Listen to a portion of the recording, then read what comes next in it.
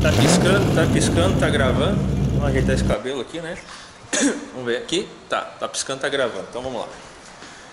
E aí, galerinha que acompanha o meu canal, tudo de bom, tudo certo, tudo bacana, tudo belezinha aí com vocês, hein? Hã? E aí? Você tem aquele corsinha que tá fazendo uma escola de samba embaixo de você lá?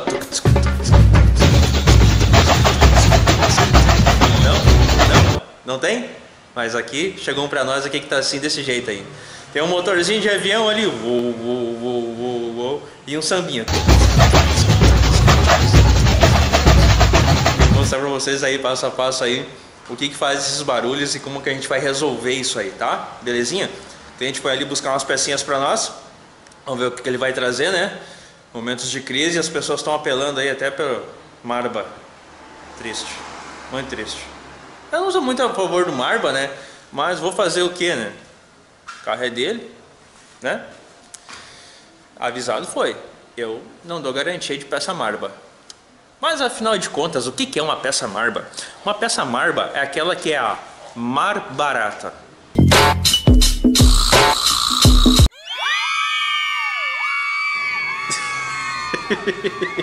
Piada horrível. Vamos lá, gente. Vou mostrar pra vocês o que, que tá fazendo esses barulhos nesse carrinho aqui. E aqui nessa roda aqui, ó, nós temos isso aqui, ó. Ó o rolamentinho, ó. Credo, gente, credo, muito barulho. Na traseira aqui, ó, vou nem girar. Ó. Escutaram aí? Solta. A outra traseira também. Ó o sambinho aqui, ó.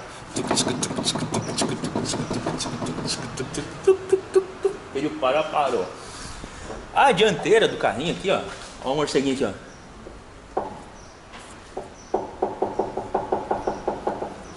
Na outra também. Vou pegar aqui.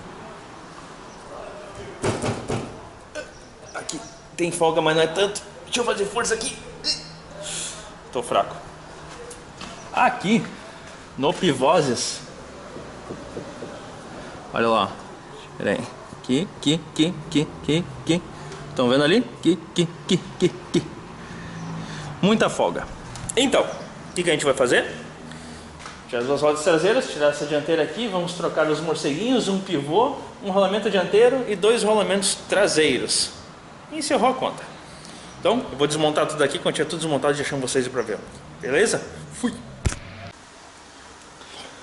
Aqui, gurizada, aqui em cima da mesa chegou as peças, ó, tudo marba, tudo made in China, tudo aquela assim, que a gente nem ousa pronunciar o nome às vezes, né? Mas tranquilo, vamos lá. Kitzinho rolamento traseiro, vetor, made in China. É. Isso aqui é aquela revisão quando a gente tá assim, ó, quer acabar com o barulho, tá maleixo de dinheiro, mas que ainda fazer alguma coisa pelo possante, né? Beleza. Terminal de direção aqui, ó. Made in China. Cadê? Cadê? Não é que abre esse trem aqui? Nem, até para abrir é ruim essa caixa. Cara, até que não é tão feio, não. Bonita peça. Bonita peça. Não é feia, não. Vamos ver quanto tempo de durabilidade. Rolamento dianteiro. IMAX. IMAX. Caramba, cara. Será que isso aqui é daquela marca do Max Steel lá? E IMAX. ah, o acabamento dele não é tão feio não. Beleza, vamos ver. E que que, que que é isso aqui? Que que é isso aqui? Deco. Deco. Vamos ver como é que é o deco. Pera, deixa eu abrir isso aqui, pera aí. Pronto, abri. Cara, bonito. Bem pintado, sem ponto de oxidação. Acabamento das soldas bonito. Sabe, cara, que... Vamos ver a durabilidade disso aqui, porque olha, a peça é bonita. Lote 5 de 2018. A peça é bonita, gente. Um bom acabamento. Olha. China que não é tão China. Aí beleza, agora eu vou bater essas pistas fora aqui dos tambor, vou bater os rolamentinhos novo pra dentro, já vamos começar a colocar as pecinhas aqui, ó, pau no gato, que a gente tem bastante trabalho por aqui.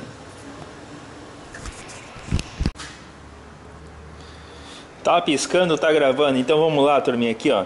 Como é que é os rolamentos traseiros, ó? O rolamento é composto desse rolamento aqui, a pista, esse aqui é o rolamento externo, o rolamento e a pista do rolamento interno. O retentor e a graxa tá? Então a gente vai fazer o que agora? Vai bater essa pista aqui para dentro, vai deixar ela bem firme ali, bacaninha. Vai bater essa outra pista aqui, vai deixar ela bem firme ali. Vai engraxar o rolamento, vai colocar ele aqui, vai pegar o retentor e vai encaixar ele aqui. Belezinha? Então agora eu vou fazer o seguinte, agora eu vou montar todo esse trem aqui e quando tiver tudo engraxadinho aqui, eu já vou encaixando os rolamentos e mostro para vocês como é que faz. Pera aí.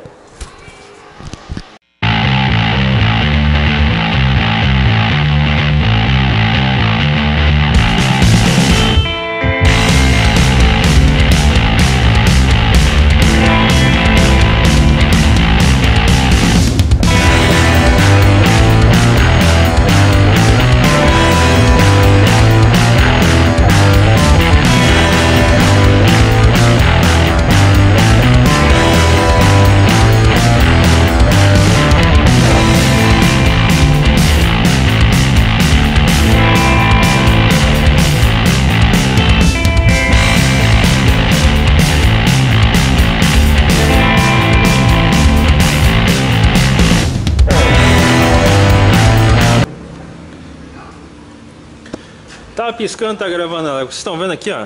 Tem umas limalhas aqui que eu não sei de onde é que veio. Tá coisa feia aí dentro. Então eu vou fazer, eu vou dar uma limpada nisso aqui. E aqui, ó. Olha o nano. Tá show.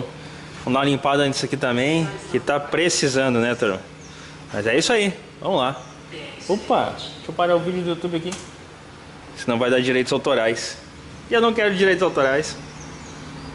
Mas é isso aí. Jogar uma aguinha aqui rapidinho aqui para dar uma prévia limpada e pau no gato.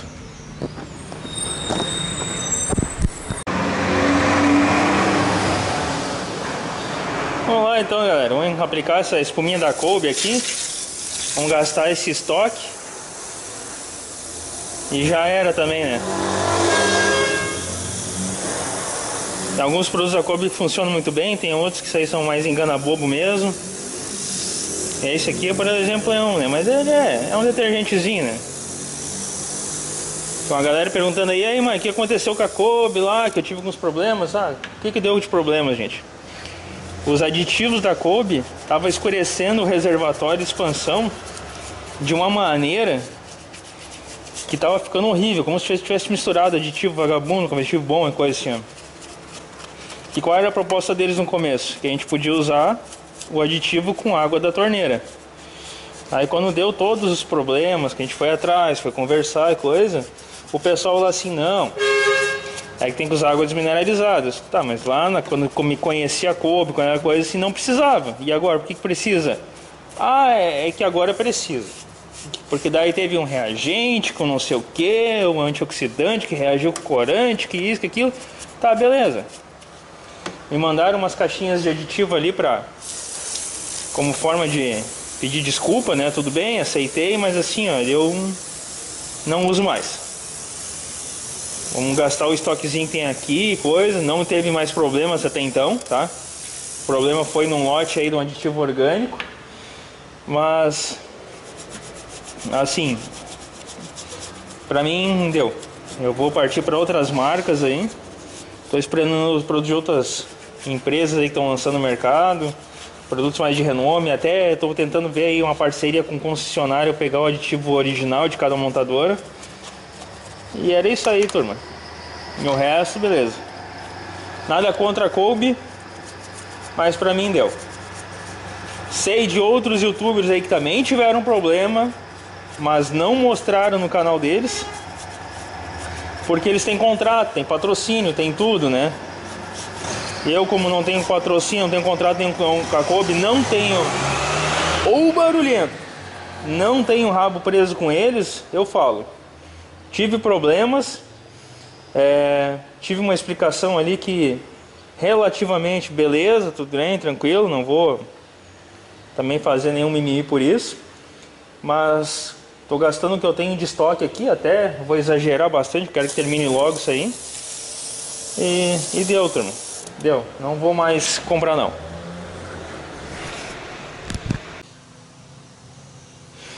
Então tá aí galera, olha aqui, ó, tudo bonito, limpinho, coisa, mas como eu falei pra vocês, se usar só água também funciona, tá? É mais efeito placebo essa espuminha aí. Mas tá beleza, funciona, é, é, naquela, né? Funciona naquela, né? Deixa meu banquinho daqui que tava apoiando a bandeja. É isso aí. Como eu disse pra vocês, tem muito produto da Kobe que funciona, tem muito produto da Kobe que é bom, mas tem outros que não é tanto. Minha experiência negativa foi com aditivos, e eu não vou voltar a usar mais o ativo da Kobe. Por isso. Tive uma explicação? Tive. Foi convincente? Mais ou menos. Ah, beleza. Me mandaram três caixinhas de ativo sintético e coisa lá, beleza, certinho. Nunca tive problema com ativo sintéticos. Todos os problemas que eu tive foi com ativo long life, tá? E coisinhas que realmente eu gosto. Deixa eu tirar aqui. Olha, cheio de peça aqui, ó, que eu tô fazendo uma limpeza Motor flush corretivo, realmente muito bom, cumpre o que promete. Anti-fio de pastilha, gosto muito dele, cumpre o que promete. E selante de radiador, realmente cumpre o que promete, tá? É, desengraxante eco, não, uh -uh. não gostei. É, poder de ação igual um detergente de louça, então para oficina mecânica eu não achei ele importante falaram que se aquecer a mistura de água, o detergente lá fica melhor. Tá, mas toda vez que eu for lavar uma peça eu tenho que aquecer. Aqueci e mesmo assim sujeira grossa não tirou muito bem. Então descartei. Tá? Bom mesmo ainda é um querosene, uma coisinha ali. Beleza. Limpa TBI e o descarbonizante K90. Para que os dois ao mesmo tempo? K90 ele é hidrossolúvel. Depois que você usou ele, é bom passar uma água. Tá, beleza, tranquilo, fica legal o acabamento. O limpa TBI é só para TBI. Dá para as outras? Dá, mas cara, tu gasta um tubo de limpa TBI para arrumar, para limpar uma correia dentada. Ou um tubo de K90, assim, tá, beleza. Nada contra nem nada a favor.